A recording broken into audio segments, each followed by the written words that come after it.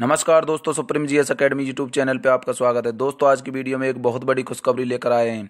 यदि आपने अभी तक हमारे चैनल को सब्सक्राइब नहीं किया तो सब्सक्राइब ज़रूर कर लें और बेल आइकन को प्रेस करना ना भूलें, जिससे कि आप पल पल की अपडेट आसानी से पाते रहें। दोस्तों, आप देख सकते हैं, राजस्थान पुलिस सब इंस्पेक्टर के लिए 511 पदों पर जो भर्ती थी, अब उसमें दो, अतिरिक्त दो सौ सैंतीस पदों पदों को जोड़ने के लिए एक लेटर पुलिस विभाग द्वारा जारी किया गया है। आप देख सकते हैं, पाँच ग्यारह दो हज़ार उन्नीस को जारी किया गया था, जिसमें पुलिस विभाग द्वारा राजस्थान पुलिस भर्ती 2016 के 511 पदों में दो सौ सैंतीस पदों को जोड़ने के लिए ये लेटर जारी किया गया है।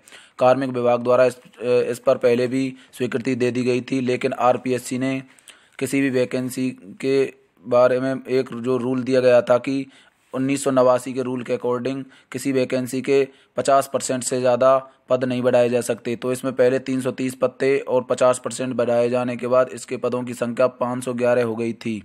लेकिन पुलिस विभाग का कहना है कि 2130 स्वीकृत पदों में से हमारे पद जो हैं 1200 पद खाली पड़े हैं।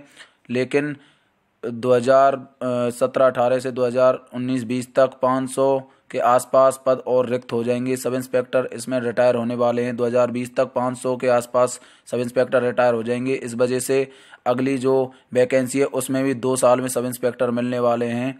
इस वजह से इसी भर्ती में दो सौ सत्ताईस पदों को और बढ़ाया जाए और पदों की संख्या सात सौ अड़तीस की जाए।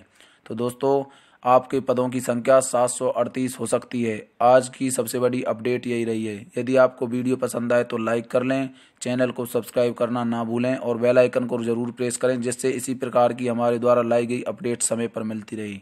धन्यवाद दोस्तों, ज़्यादा से ज़्यादा शेयर भी